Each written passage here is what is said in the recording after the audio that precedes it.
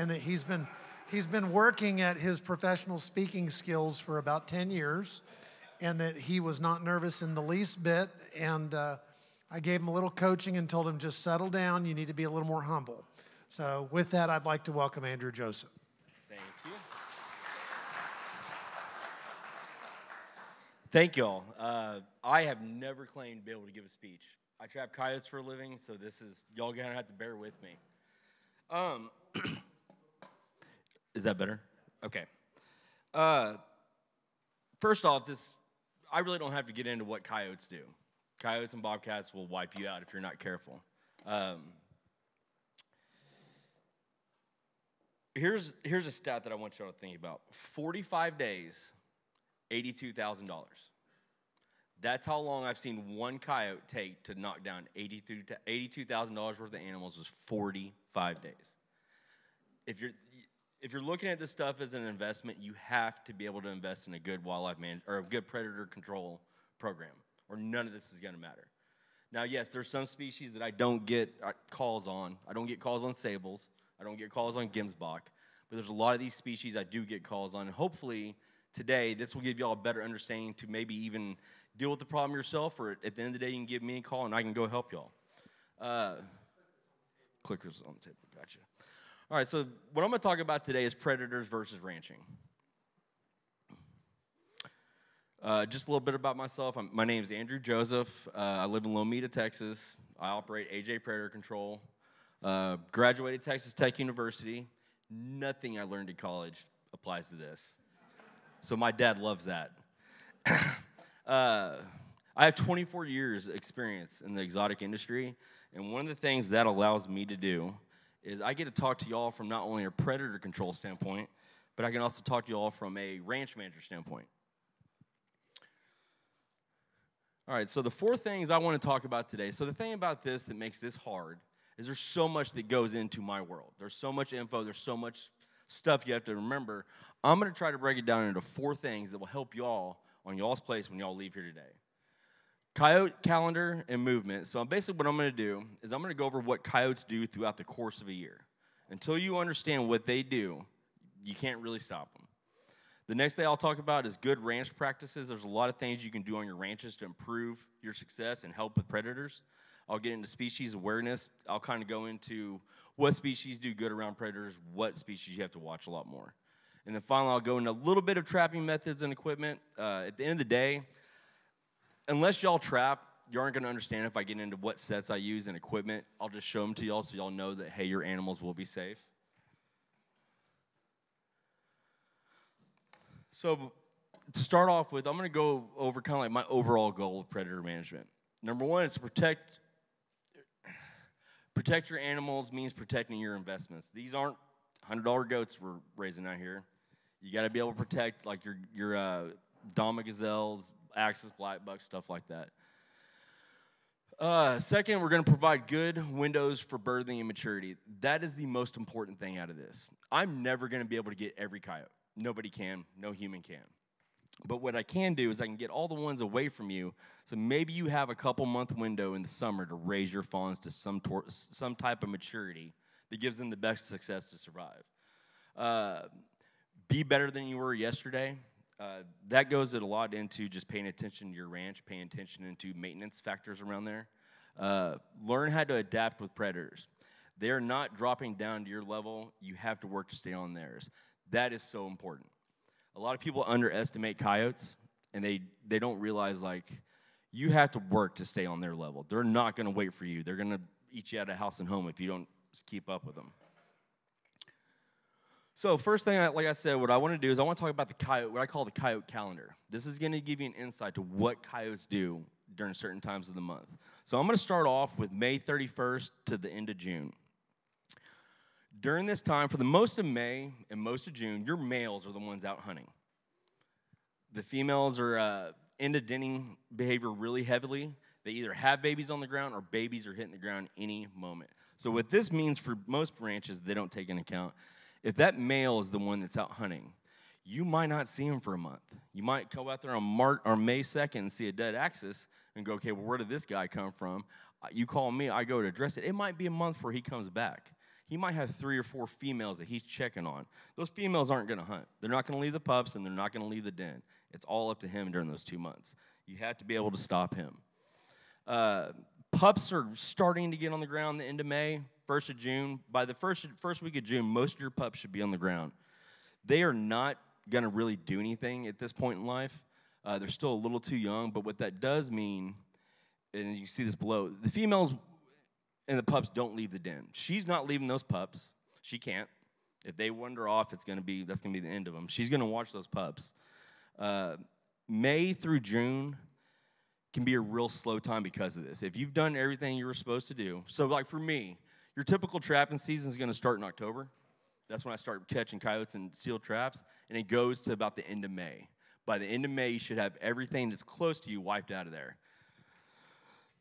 when the uh, when the females and the pups when they start going out, that's when you start having problems in the summer, and that's where most of your problems will come from. All right, July 1st through September 30th. Uh, depending where you are in Texas, some places in Texas are a lot different. Uh, I've seen pups, or I've seen females that were pregnant in March. Then on, you get around Llano, Texas, maybe Kerrville. I was catching females that weren't pregnant in April. So, I mean, it kind of depends on where you are in Texas, so take that into consideration. But starting July 1st, you're going to have some pup movement. You're going to have pups kind of venturing out probably 200 yards away from the den, and moms stand by to uh, watch them. Um, let's see, July. August 1st is when you're to start having pups move, I think. So, August 1st, if those pups hit the ground at the end of May, by August 1st, mommy and daddy don't want the pups around. So what those pups have to do is they have to go out and find their own territory. That's not really a big problem. Pups really, they're trying to figure out, they know how to hunt, but they're trying to figure it out. That's a good time for you to get in there with snares and get the pups out early. Uh, pups starting to figure out their own territories, which, like I said, is around the 1st of August. They, they can go into a territory and think, okay, well, this is fine. And uh, all of a sudden they have a male in there when that male and those pups start interacting, and especially if they're not his pups, he might start killing stuff to establish dominance. So you got to be careful for that. Uh, God, y'all, this this thing is going to be the end of me right here. uh, June, July, and August, and I cannot stress this enough. And this is good because this is something that everybody in here can do on their own. That is snares. There's nothing I can do as a trapper that's going to make traps work June, July, and August. It's a heat thing, it's a food source thing, and it's a travel thing. It's just not in my wheelhouse as a human to deal with coyotes in summer, but snares will. Snares are going to be your best friend. October 1st through December 31st. So this is when stuff starts picking up and getting busy. Uh, traps st- start going out. My trapping season starts, like I said, October 1st. Um, the way you got to look at it, if you let's say you're going through the summer and you think, okay, I don't have a problem or I'm not seeing anything killed, and you don't address it. Well, in actuality, you had a mom and her five pups around. Come October October 1st, that turns from one mama and five pups into six coyotes that are fully capable of killing. So that's something that October 1st, the re- let, me, let me back up. The reason why I like to start October 1st, when you have coyotes moving, if it's 90 degrees during the day and it's 80 degrees at night, coyotes aren't going to move in that. After 80 degrees, coyotes really falter. So October 1st, usually, this past year was a little different. Usually, you got a lot cooler nights and you're going to start figuring out what you have moving around. Yes, sir.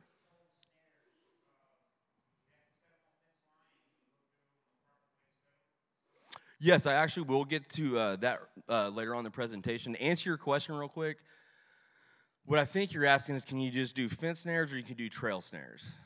Okay, I would stay away from trail snares at all costs. I understand the concept, I've done it. It works great in places like Montana, Idaho, Wyoming, where you're out there trapping 50, 60, 70,000 acres. For what y'all are doing, those trail snares in Texas, especially if y'all have brushy country, those trails might be the only way those animals have to navigate through that brush, and that means everything on y'all's place. I've seen it done. I do not recommend it. And to answer your question, I will have a number on here where I order my snares from. It's a guy that lives in Lampasas, Texas, and he makes phenomenal snares. let me catch back up here. All right. Good news is October 1st, like I said, traps go out. Nine times out of 10, if I'm catching coyotes in October, I promise you it's the pups first. They don't really know anything yet. I guess if you had an adult that taught them, like if you had an adult male that had been jacked with and he taught them how to stay away from humans, you got a problem. But most of the time, pups are going to be the first thing you get rid of. You have to be really careful about how you deal with pups. If pups, for whatever dumb reason, are still with their mom, and mama sees one of those pups get whacked in front of her, it is a bad deal. Mama will backlash. She will retaliate, and she will go into what we call like revenge killing or stress killing, and it's a bad deal. Uh, so, go ahead. Sir? Oh, no. So, let's say you have snares on a fence and it's the middle of July, okay? And you have five pups and you got mama working that fence. I come in and I set snares up, which would be my preferred way to go at them. If you get mama, or if mama and those other pups watch one of those pups get killed by that snare, what will happen is mama will teach every one of those pups to not go through a hole or check the hole before they go through. So, in other words, you'll have coyotes that will reach their paws in, look for that snare, and throw that snare off. Yeah, so long, long story short, uh, two years ago I had a ranch. I started in June, which is not the best time to start, but I had to start in June, so I had to start with snares. I caught one of the pups on the fence the first night, and I could see by the game camera footage there was a uh, mama and five pups. So now I'm down to mama and four pups. It took a mile and a half down that fence and a month to get the whole group. Yeah, because they, they were never alone when they got caught. Yeah, so uh, two years ago, if you would have asked me, I would have said no. Everybody has game cameras, everybody sees the lights, everybody sees the infrared, coyotes can see that. I would prefer you not to jack with them so I could go in there and catch them with them doing their same thing. What I have found is the higher up I got those cameras, the coyotes did not care and it upped my catching percentages dramatically because I could see exactly where I needed to be. The name of the game is I got to put the trap in front of him. I've got to be where he walks. And so game cameras not only helped with that, it also helped with locating a lot of animals for people, which was a great side effect of it. Uh, here's a good one. Starting, start establishing patterns and loops that they use all winter. This is a big deal. So in October, so let's say you, I'm standing right in the middle of your ranch on a normal winter night, a coyote's range is going to be, I don't know, 14, 15 miles a night. So in most places, if I catch a coyote where I'm standing, it may not be a coyote that I caught on that's living on that place. That that dude could have come from seven miles away. But what they do is they do it consistently. The, each each loop. So if they, if they have a center spot, each night's going to be a different loop in a different direction. They do that regularly, and they hit a loop, and it helps me pattern them. It helps me go, okay, this dude's in here killing if I can get set up and keep it going in between now and Thursday, I got a chance at them.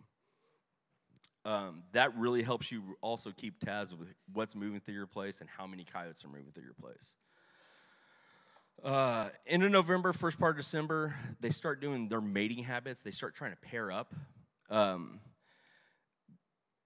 trapping will be kind of slow, but you will start dealing with pairs. So instead of mama and pups, now you got him and her going down the road. Now you're back to if you get one, you better get the other. This is the time of year they start pairing up. December, I would say end of December is mating season. For about three weeks, it's going to be slow. Um, yeah. And here we go. January 1st through March 31st. Early January, rut's in full swing. I would say by the middle of January, they've already paired up. Uh, this is a good time for me to catch both that usually happens this time of year. Like I said, it's a little slow. They might hunt together, and you might go. Let's say you had a male and a female, and you knew you got the female, you knew you had a male in there. It might again, you might be three weeks before you see that male come back, because he might be doing that with two or three different females around. So it's not just one female; it's three or four he's got to hunt for and take care of.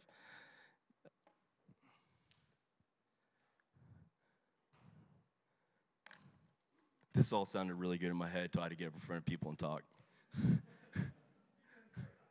Long story short, coyotes are bad. Um, April 1st through June 1st.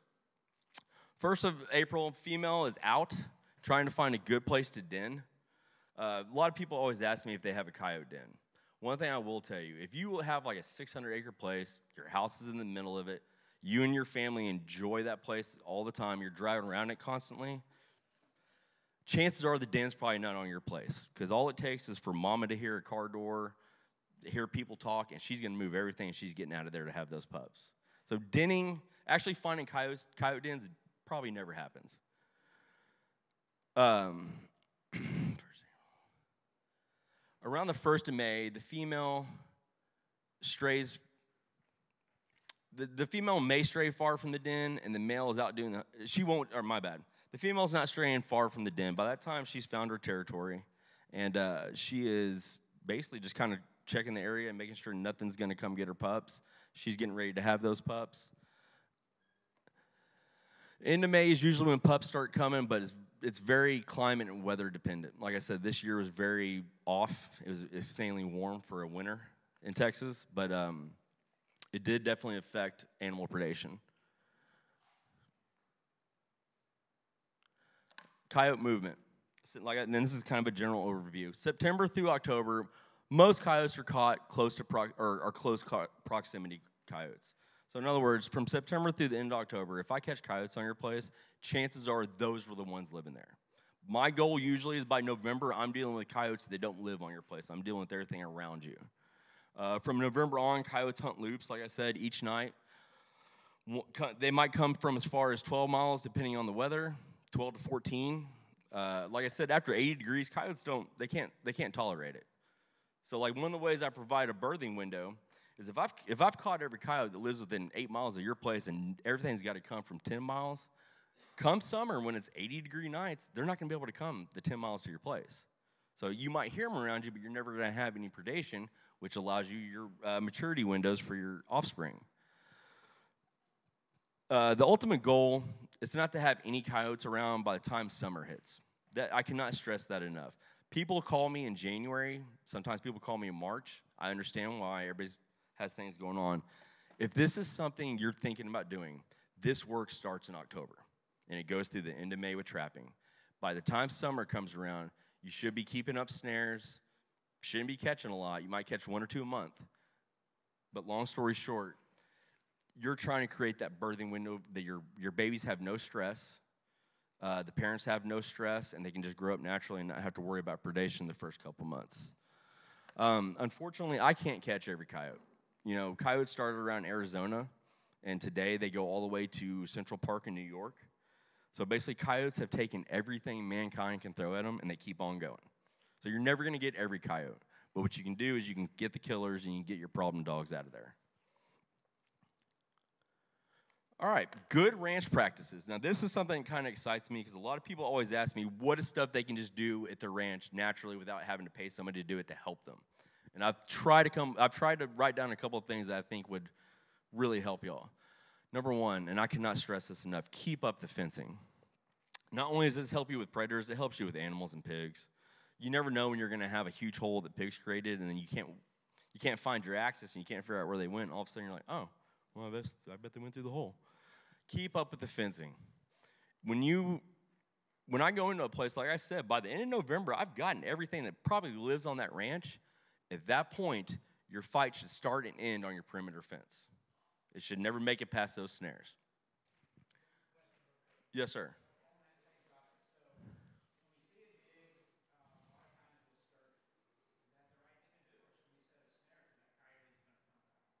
When you say skirt it, what do you mean?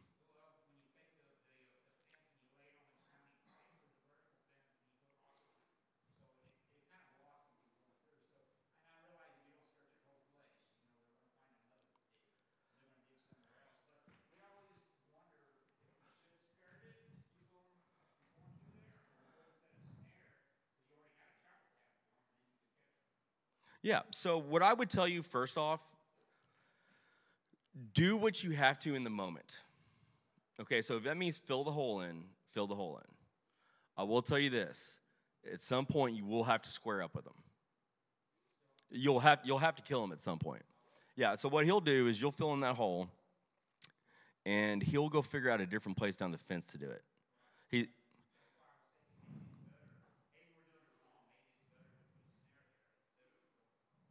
So, in my opinion, I'd rather put a snare.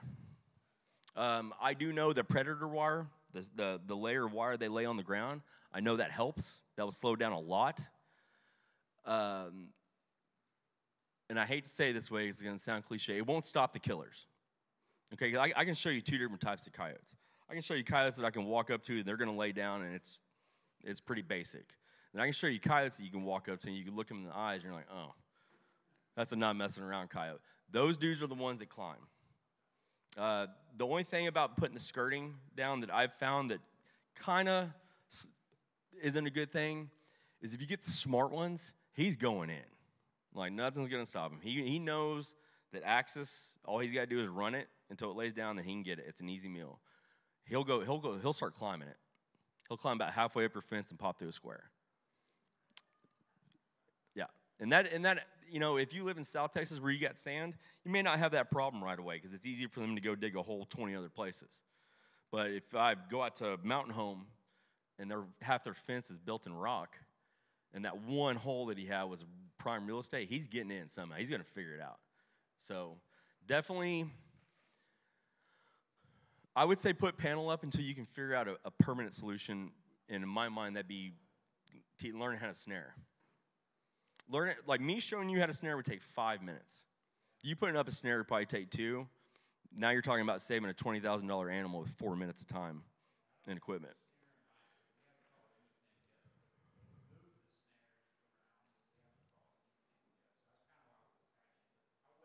Yeah, I'm going to do about five, ten minutes for questions at the end. I will definitely dive back off into that one. Uh, here's a big one have a gut pit. I cannot stress this enough. Now, everybody here, most of y'all have ranches, and everybody here has hogs. I get it. You got to shoot pigs. Nobody wants to go shoot 15 pigs and haul it off to the gut pit.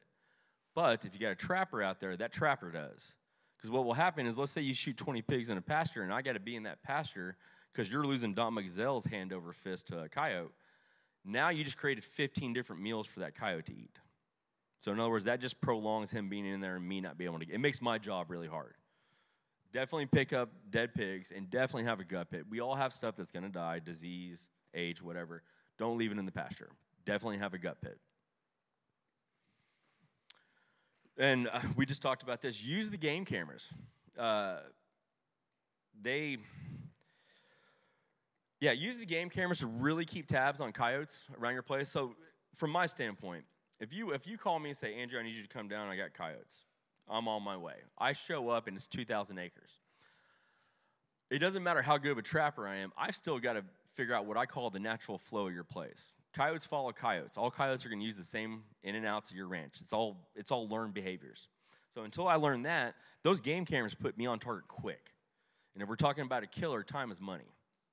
So definitely look into the game cameras. It, like I said, if nothing else, if you haven't found that kudu bull in five days, you'd be surprised how many times he might walk in front of that game camera and, and help y'all with the inventory. Uh, here's another one that I just ran into this summer. Stay on top of mowing in the summer. Now I know everybody wants to keep tall grass because they think that it helps the babies hide. And in the in your open pasture, you're right, it does. It really helps them. It gives them a place to hunker down. Where mowing helps me the most is if you mow the roads through your ranch, you give me a great place to go at a coyote anywhere on your place.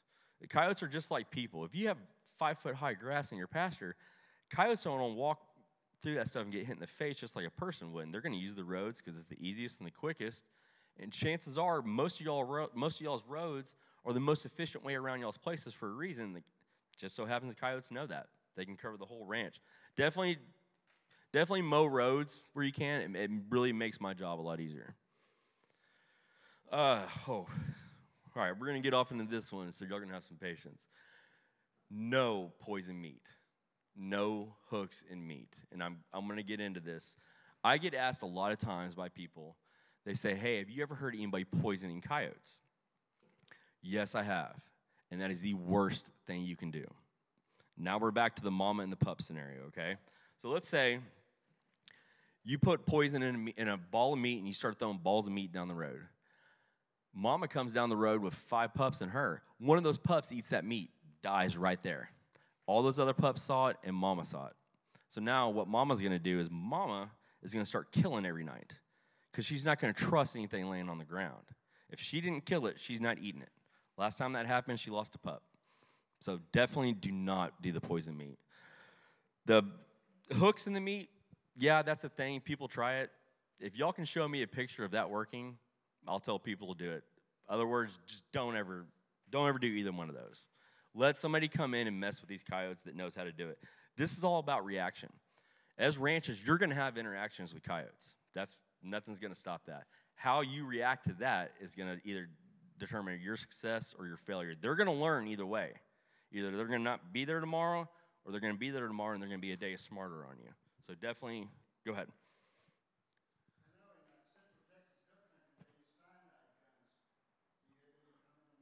Oh, yeah, I'm fixing to get into that. Yeah, th- that's a great tool. I know what I said about poisoning. It, when I explain the M44s, it's actually a lot different concept. the next thing I want to talk about, and this is going to help the ranch owners a lot, try. I know everybody's short staffed. I know on a ranch, I've worked on a ranch, everybody has jobs they have to go do. Okay, if you've committed to a predator program, which you should, I mean, this is protecting your investment, try to commit, try to be able to commit one employee to at least five hours a week towards this. And by that, I mean, whether it's me trapping, I show up, I get to go ask the same guy every week, like, hey, what have you seen? Where are you having problems? What's going on out there? That guy's out there all the time. Uh, inventory managers make the best person for this. I work with Wildlife Partners inventory man- manager Clay at Mountain Home, and the amount of communication me and that guy have makes my job so much easier, and it makes his job easier. Um, try to commit one person to it. I know it's tough. Whether that person's running snares, checking conibears, checking animals. If nothing, just get the guy to do a herd count. Because the day, if you count your short two bus box two times in a row, call me. Chances are something's happening. But definitely try to commit one person to at least five hours a week checking fence, checking animals, checking for scat and tracks in the road, just staying on top of it. All right, now we're going to talk about uh, species awareness. Let's be honest about buffalo and aoudad. That $4,500 aoudad ram can very much stop me from protecting your $25,000 Dama gazelle babies. And that is not a good thing. Aoudad, any of your sheep species, and, then, and I'm, not t- I'm never going to tell somebody what to have. But I will tell you what makes my job a lot easier. The bison and the aoudad do not. If you look at buffalo and you look at what a buffalo eats uh, over the course of a year, you got to really love buffalo to have them around because that is a high maintenance animal. You got to be like half Indian and really love buffalo. Because what buffalo do, and I trap on a ranch in Bend, Texas, two and a half hours north of here. The man had 80 buffalo on 1,400 acres. I took one coyote out of there in four months, and he was still getting it handed to him. Because what those buffalo do, those buffalo still have a predator response towards you know, the smell of coyotes. I trap coyotes making spots smell like other coyotes. So when a buffalo comes down the road, smells that, his first reaction is going to be to stomp my set. So either he's going to stomp the set and ruin my trap, or he's going to set the trap off. Either way, that trap's not running. It's not doing y'all any good. And I mean, it's it's something I see, and I, I see guys that are deep into exotics doing great, but then they have 20 aoudad on 500 acres. Well, I really like aoudad. My son's like hunting aoudad. Well, cool. Like I said, your $4,000 aoudad just made it where I couldn't protect your very expensive Inyala, Damas, stuff like that. Definitely be real with yourself about what you're all trying to do. The biggest mistake I see people make is they have the money to get into it and they're, they're passionate about it and they want to do it and they start picking species off the board and they don't ever take a time to take a step back, look at their ranch, look at where they are, and go, hey, what am I actually naturally set up for? Be okay with what you have the buffalo, it's just, it's just never worth it. Know what, go ahead. Oh, yeah. Oh, yeah. Like, I could get into how many aoudad I, I have to deal with a year. They're probably not good for my business, but let's just say it's something about those two specific species and their predator response.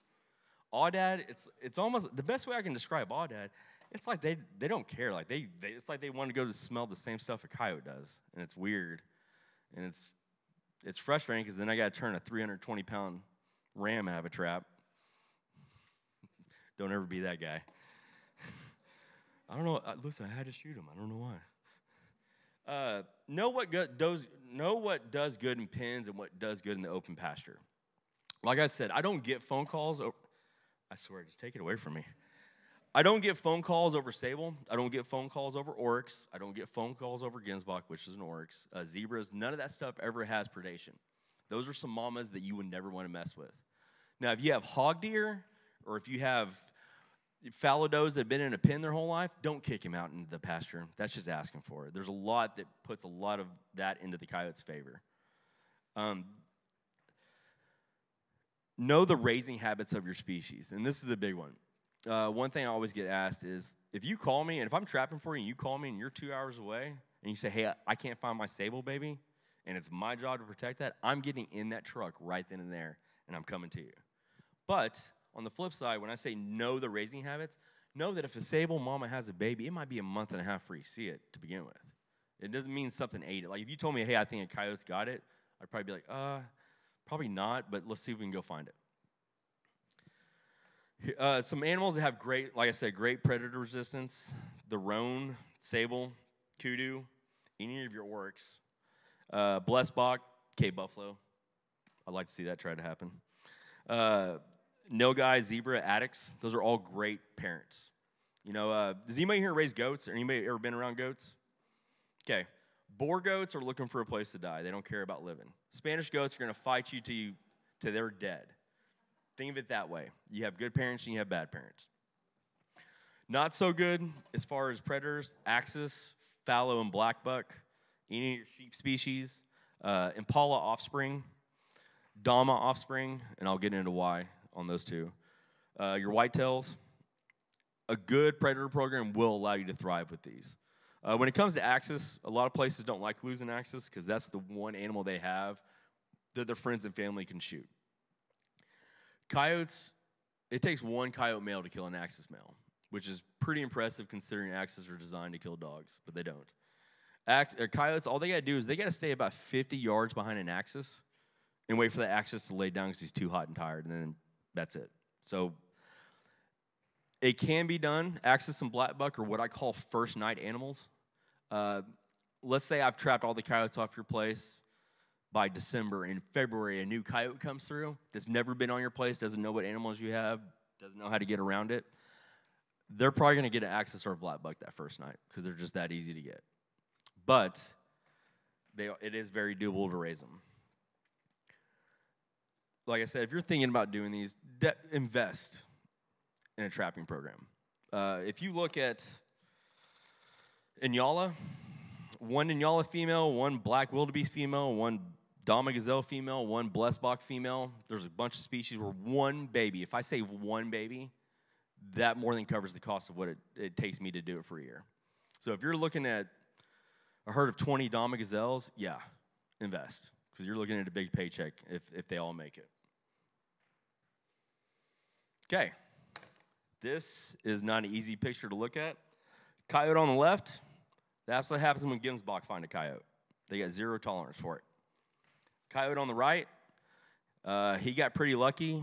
That's Gemsbok, or that's Sable, and he didn't make it five minutes. I got a phone call at 9 o'clock in the morning from a ranch owner saying, hey, you got one on top of the hill. I got there at 9.45, and he'd been dead for a while. So just to let you know, a lot of your exotics will not tolerate it. That there's a lot of good ones to have. Oh, yeah. Not even joking around. Yeah, and you know what the fun, you know the great thing about the oryx species is? Those babies are lethal when they have eight inches of horns. Ask Tad and all those catch guys. You can go grab a full-grown Gemsbok cow, and she's got to really duck that head and and really swing that head the right way to get you with the tip of those horns. Babies that have eight-inch horns, yeah, they're good to go. They will demolish coyotes. All right, so just real quick, I'm to get into trapping methods and some of the equipment that I use. Like I said, I'm not to get into like what sets I use and lures and smells because unless y'all trap, it's just kind of a waste of y'all's time. But I do want to show y'all some of the equipment. So this is what the basic size trap that I use. This is a Bridger number two. It's got a lower five and a half inch jaw spread. Not the best coyote trap, but it's my favorite coyote trap because 90%, 98% of what y'all raise, that trap will go off and close underneath the hoof of the animal and never bother it. That's why I use those small traps. And plus, with those traps, it's kind of hard for me to explain, but long story short, I have an offset gap in those jaws. I have about an inch gap, or half an inch. Most of your hoof stock, those traps are designed to hold anything with knuckles. So nothing with knuckles is gonna be able to pull out. If that closes on a hoof that's all flat, round surfaces, that trap pops right off. Unless you're an aoudad. Snares, here you go.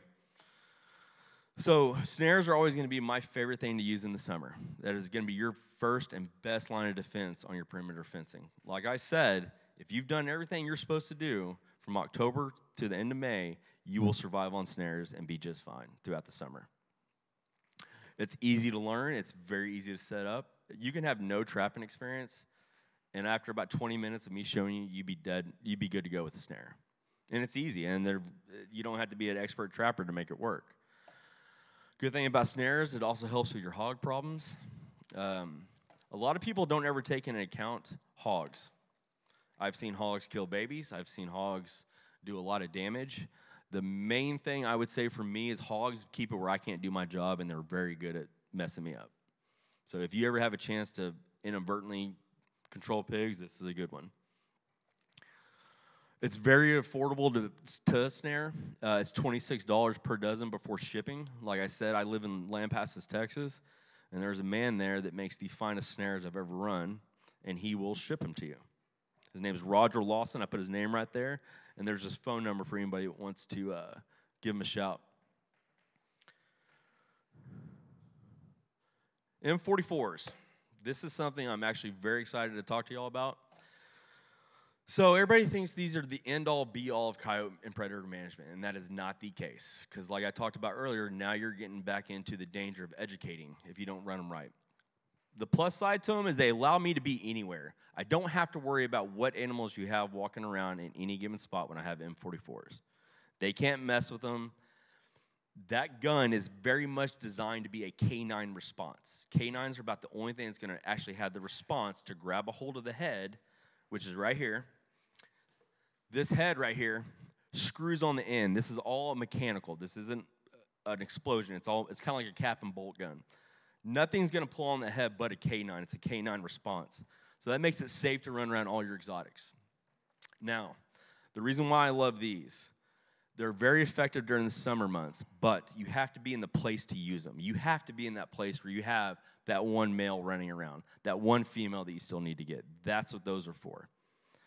I can kill coyotes with M44s. If you ask me to come to your place in October or November and all you want me to do is run guns, I will eventually create a problem that you do not want to see. And that is that one coyote that learned and now he's teaching everybody else. I caught a coyote, that coyote that I was telling y'all about that did the, uh, that did all that $82,000 worth of damage in 45 days. I caught him. Caught him in 45 days. And it took everything, I, that was the only thing I had going on. A year goes by, and all of a sudden I start seeing stuff killed the same way. I start seeing I start seeing animals dead on the same pattern. I start seeing mainly I start seeing animals tore up the exact same way. I'm like, what is going on? This is getting kind of eerie. I end up catching two juveniles that I promise were taught by him how to do that. So very much everything you do has a reaction in the predator world. You can use those to really save you, or you can use those to really screw you up. Um, Downfall to those, you don't go home after cyanide. They don't make a uh, antidote anymore, and so I got to go out there and hope I went to church that weekend and nothing happens to me. Uh, like I said, it's not an end all be all solution. So basically, what I try to do is I try to develop four tools to go at coyotes trapping, M44, snaring, and calling. You very much need multi tools to go at predators. One tool will end up working, you'll work yourself into a bind because they get smart to it. Man, I should have proofread this thing before I came. I tried. Calling. It's a great tool to use certain times of the year. In my opinion, and now granted, this is a very touchy subject. Where I live in Texas, I would say I have the month of December and the month of May, half of April, half of May. Those are gonna be your two best months to call. Uh, results Results may depend on where you live. The one thing that, and I hate, I'm not trying to offend anybody, every high school kid with a thermal has a call. Every coyote out there has heard a call. Good calls, bad calls, they've heard them all. If you do it, you have to commit to it. So, like, let's say you had an axis killed, and you walk out there at 11 o'clock in the morning, there he is, you can tell it's a coyote. You decide you're gonna go call him that night. The chances of you calling back in the one that killed that axis are very, very slim. It just doesn't work like that. Uh, it's good. It's good to do. Is an overall tool? Like I said, you'll get coyotes, and dead coyotes are good coyotes, but it may not be effective as you going in there and targeting that one that you need to get. Uh, calling is a good way to start early and deal with pups. I will say that pups are, for the most part, are generally pretty dumb, and so they'll come into most of those calls still. So if you don't want to waste time uh, trapping pups, which I don't, sometimes if I tra- if I catch nine pumps in a month, chances are I'm gonna have to move the traps in the area because everything's already used to what's going on.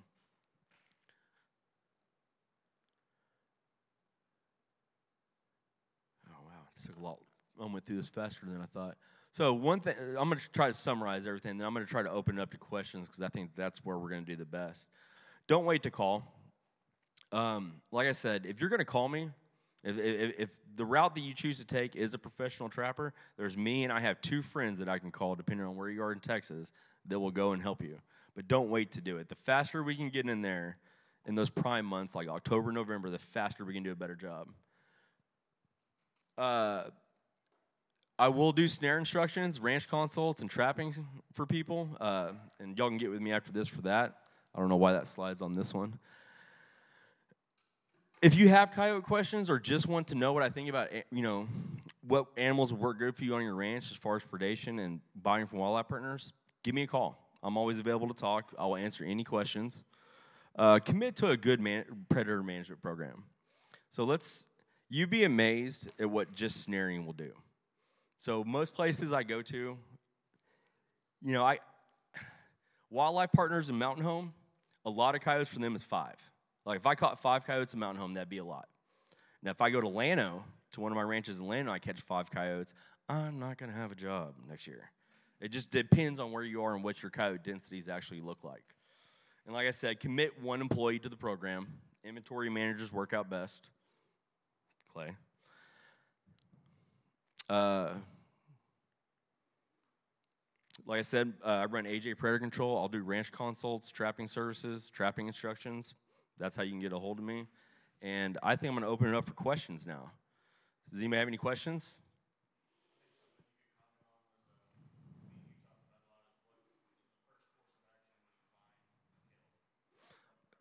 That's a good question. So, Clay's question was What is the first thing you do if you find a kill of a predator? So I'm going to talk to you like I trap for y'all. First thing you're going to do is call me. You're going to take as many pictures as you can. Um, definitely take pictures and try to make a best guess on what killed it. Is it bobcat? Is it coyote? Take pictures. Send me the pictures. Um, show me. Coyotes are always going to grab animals from down here or from the back end. Bobcats are always going to grab from the back of the neck, and you're going to see claw marks on their chest where they're holding on, trying to choke something out definitely just call the call your trapper. Call call the guy doing the predator control. Let him know immediately. Does that yeah that, that works. What was mm-hmm. Yep. I do. So the government pulled the funding. So now, only, to answer your question, government trappers cannot run M44s right now. They had, and Tad did a good job scaring the ever living snot out of me. Anyways, government trappers had the funding pulled on their program, which means the state's not going to buy them M44s and it's not going to buy them the cartridges for it. I, as a private trapper, can still do it. The only problem I might run into is there's one place in America that makes cyanide capsules and cyanide equipment, and that's in Idaho.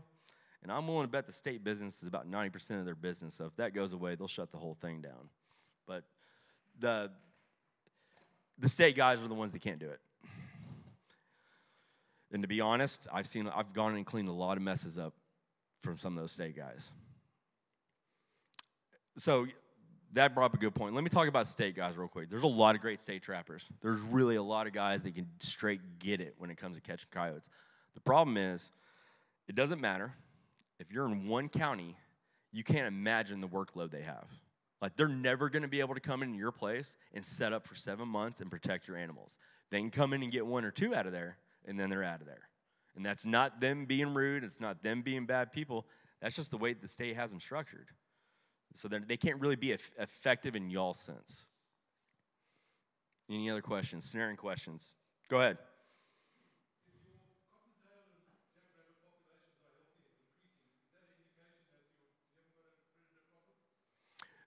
Yes, to an extent. I wouldn't, uh, I wouldn't say, oh no, you don't have any coyotes because I saw 10 rabbits. I would say you're doing a lot better on coyote populations if you're starting to see rabbits in the areas of your ranches where you didn't see rabbits. Uh, you know, when, when most predators come through your place, most animals know where they can and can't be. So, like, rabbits might move, but when you start seeing rabbits in places where you never saw them, that's a good indication. Very good indication.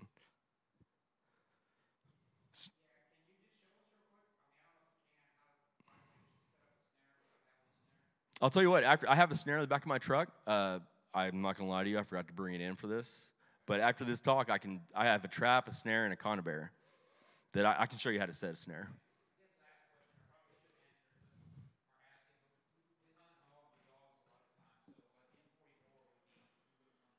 No.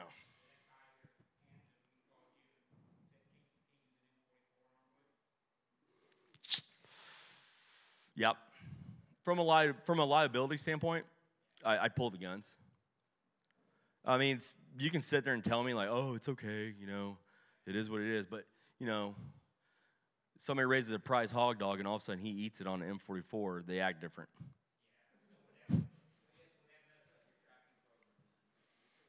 No, I mean that's that's a good question too. So number one, calling will not screw me up. Okay, that coyote. If you, I tell most ranch owners this because they ask, they can we go call? First off, if you see a coyote on your place, shoot every bullet you got at it. Okay, if you shoot one, you might as well shoot five. He, he's figured it out after that first shot. Might as well give them every shot you got if you don't hit them.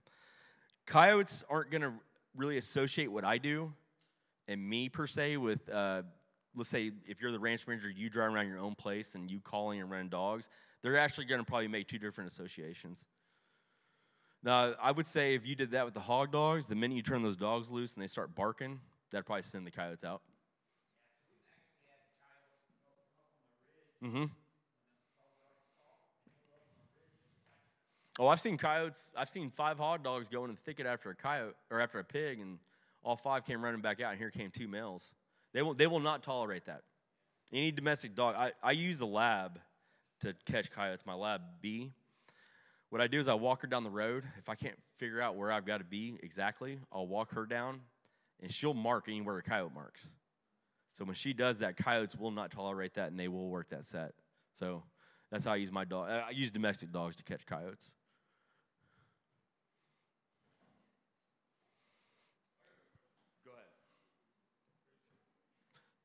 You first.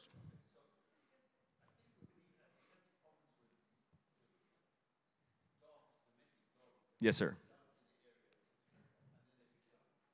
Mm-hmm.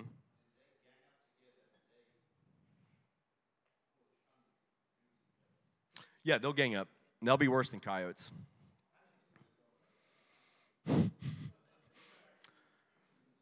so, first and foremost, I have nothing but respect for predators and animals. Uh, I try to treat each animal with respect. I don't turn coyotes loose, but when it comes to dogs,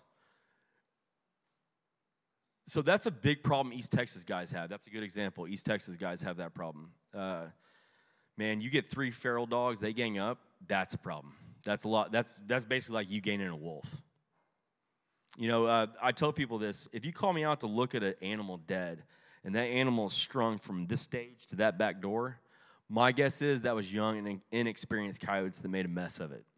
Now, if you walk up to a full grown axis and you can tell that one coyote grabbed a hold of him, brought him down, killed him, and ate him in a 10 foot circle, yeah, that's a bad dude right there. That guy knows what he's doing. That's one thing a lot of people, they see those big kills, they think it must have been a lot of coyotes. I'm like, no, it's probably just two coyotes that didn't know what they were doing and made a mess out of it. So.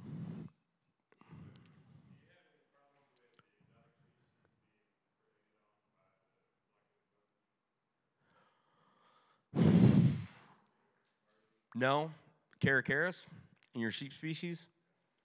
Uh, anything that's going to have an insanely small, small fawn, like uh, I've seen caracaras sit there and watch black buck does give birth, and when that baby hit the ground, it was on. And as long as afterbirth's involved, that smell is out there, uh, caracaris would be pretty bad. I've been seeing a lot of bald eagles everywhere lately. Uh, don't know what you do about that, but it happens. Let me rephrase that. I'm not doing anything about that.